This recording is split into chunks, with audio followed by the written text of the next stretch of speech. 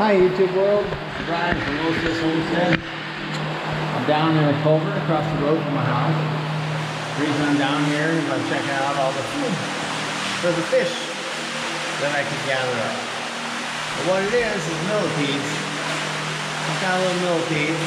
They congregate on the walls of this culvert for some reason. I don't know if it's because it's cool down here or why they're congregating. But there's just thousands and thousands of them. You may be able to see some on the wall behind me. Um, they ain't all clustered up, they're just scattered here and there.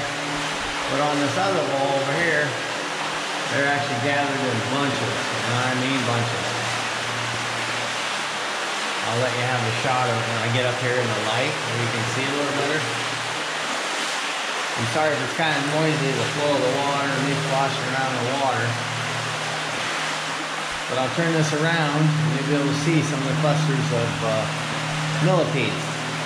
I just figured they make great fish food when I come across these things. I have a ram pump. I'll give you a shot of that too here in a second.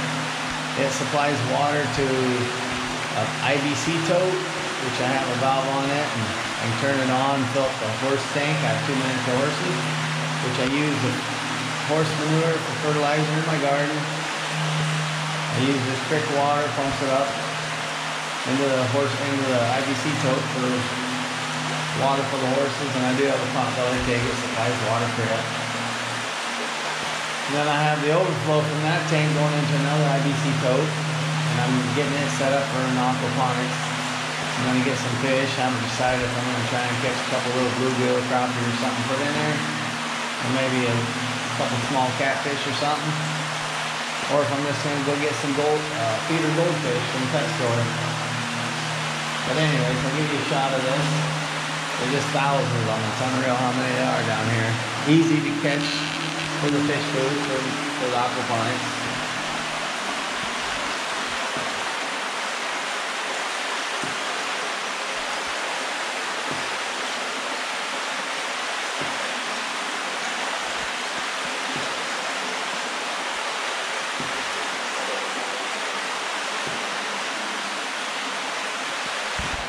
Turn and give you a shot of this culvert.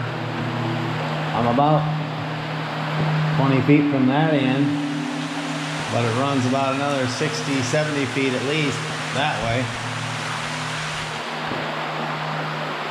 As you can see in the picture, I got my ram pump going there.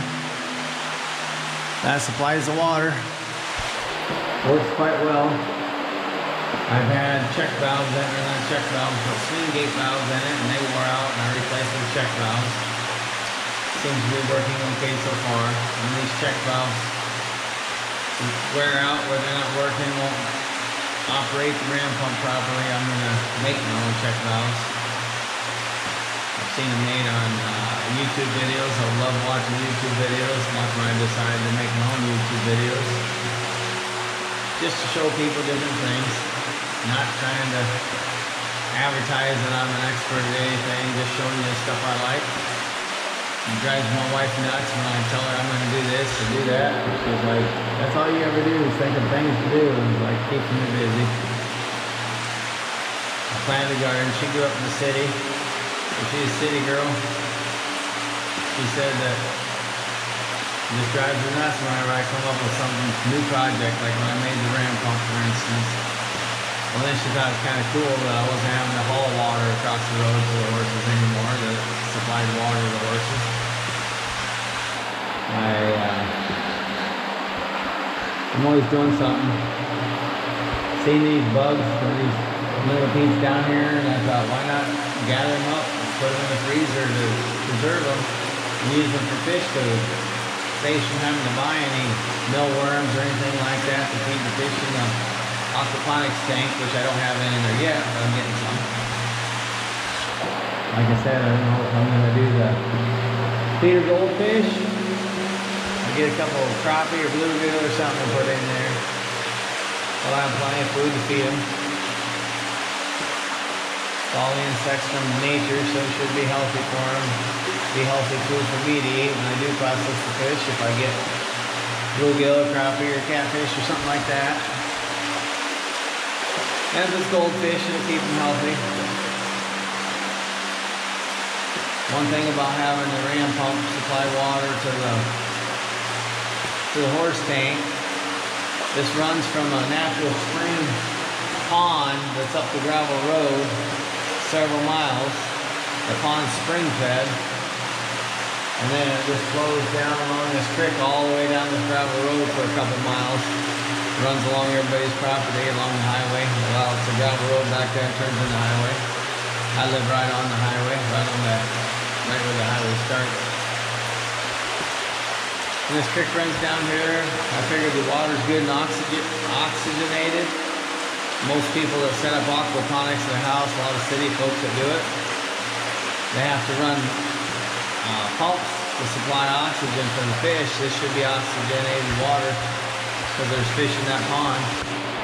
It supplies it to the horse tank. The overflow from the horse tank goes into the aquaponics tank uh, where the fish are going to be, and then the overflow from the fish goes into the actual garden garden bed or the floating bed, I guess you call it. I do have it set up. I have a styrofoam cut with holes in it. I just got to get the plants in it. Get the fish in the tank to supply the fertilizer for the plants. Is one of the projects that I have that drives my wife nuts. But what else are we here for to drive our wife nuts, right guys? Anyway, I thought I'd just bring you down here and show you this.